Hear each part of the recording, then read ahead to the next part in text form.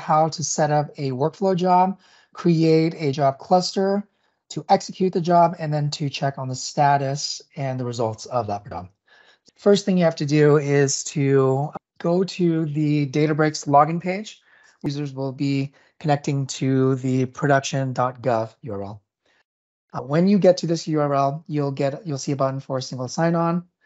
At that point, you will be taken to the HARP login page. Typically, for the first time you log in, you'll get to the HARP uh, page where you'll submit your credentials, enter in the code for MFA, and at that point, you'll get redirected to the same page I see here. Once you're on the landing page, first you'll need to create a notebook you will set up as a workflow job.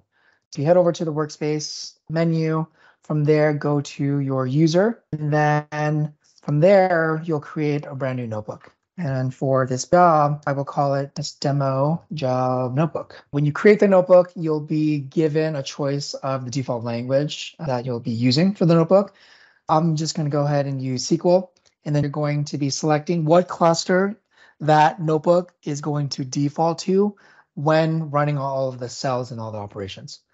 And since I'm part of the QDAS group, and I'm running this interactively to set up the notebook cells. I'm going to connect to the QDAS compute cluster. This will take you to a blank notebook where I'm going to go ahead and just run some dummy uh, SQL commands, running commands like show databases. From here, I'll get a list of all the databases within the CDR.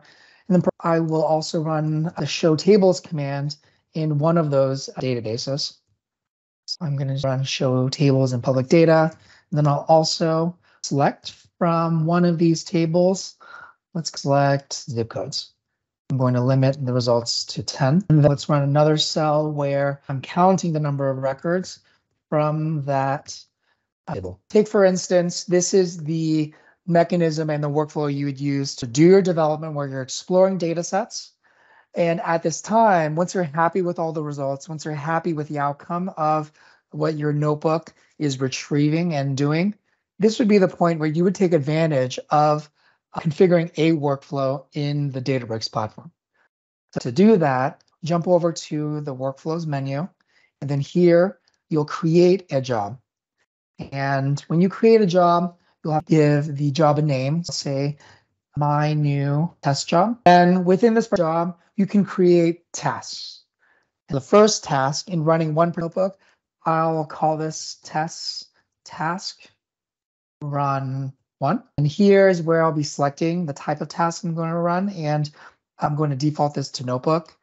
And then the source of this, you can select either the current workspace or you can even specify a Git repository. I'm going to continue with workspace and select as part of this task the notebook that I just created earlier called test demo job notebook. At this point, in order to run that job, you will need to create a job cluster in order to take advantage of the personal compute capabilities within Databricks to isolate this job from other operations that might be running on the compute cluster for other users in your group that might be running their notebooks interactively. And it will also take advantage of the lower costs for job compute units. When you are creating a job, always create a brand new job cluster when you create your cluster, you'll give it a name, but it'll default to whatever the task is. And then with an underscore cluster, you can leave it the same. At this point is where you will select the policy. When creating a job cluster for your workflow, you will have access to a policy called uh, CDR Databricks Job Compute Policy.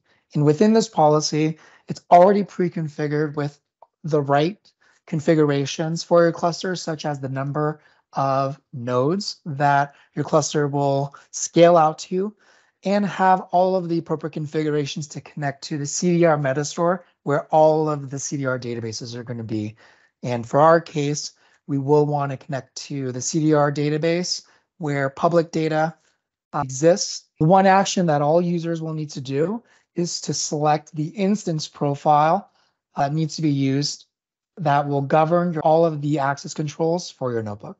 For all users who are associated with a single group, you'll only see one instance profile here. However, if you are a user that's part of multiple contracts and as a result are associated with multiple DAGs, you'll see multiple options in this menu. And it's important that when you are running uh, your notebook and you're setting up your job cluster, that you select the profile for the DAG group your work is associated with. I'm just going to go ahead and select QDAS instance profile. From there, confirm that action. As part of this job, there's other optional parameters that you can set, including selecting the dependent libraries you want to install as part of the cluster creation. However, you still have access to be able to configure and install all the appropriate Python libraries as you would when you execute a notebook interactively. Optionally, you can provide parameters to the notebook job as well. Where parameters are beneficial would be if you were to create a notebook where it's a job that you want to schedule to run every single month. And when that job is running, you are processing all the data for the prior month. This could be where you could generalize that notebook to be able to take in the month that you need to process as a parameter. You could set up a parameter called month, and then you give it a value of what that month is that you want your notebook to execute and query against. Other configurations that you can set up with a job is going to be emails, retries, and then timeouts in seconds. And the emails field could be if you want to be notified once the job has completed. I'm going to go ahead and do this. And then add that email. You can select whether or not you want notifications of when it starts, when it succeeds, when it fails. I'm going to set this to only be notified if there's a failure. From there, it's going to be added to your job. Next, it can also give the job the ability to retry if it fails. This could be if maybe in your notebook, there's uh, a cell in there where you're making some type of connection to an external database, there may be some network hiccup at the time that this job is running. In that event, it would be good to include some retries for that particular job, just in case there was a, a hiccup that happened at that moment in time. I'm going to go ahead and configure this to retry three times with a total of four attempts.